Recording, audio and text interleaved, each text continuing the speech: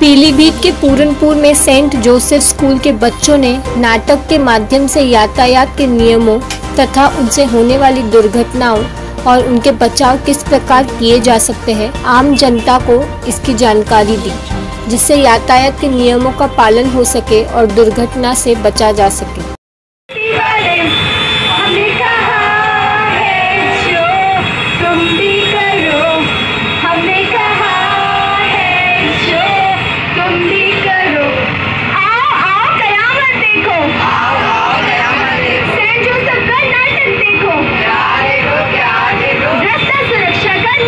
अच्छा ये बताइए अभी जो आपने एक नाटक नुक्कड़ किया है उसके माध्यम से क्या जानकारी दी लोगों को? हम ये जानकारी देना चाहते हैं कि जो लोग गा- गाड़ी चलाते हैं और उनकी गलतियों के कारण मासूम लोगों की जान जा रही है वो ना जाए और लोग सड़क सुरक्षा के नियमों का पालन करें।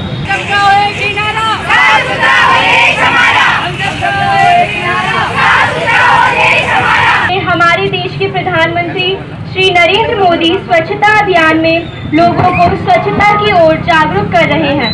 स्वच्छता एक ऐसा कार्य नहीं है जो हमें दबाव में करना चाहिए। ये एक अच्छी आदत है हमारे अच्छे स्वास्थ्य के लिए।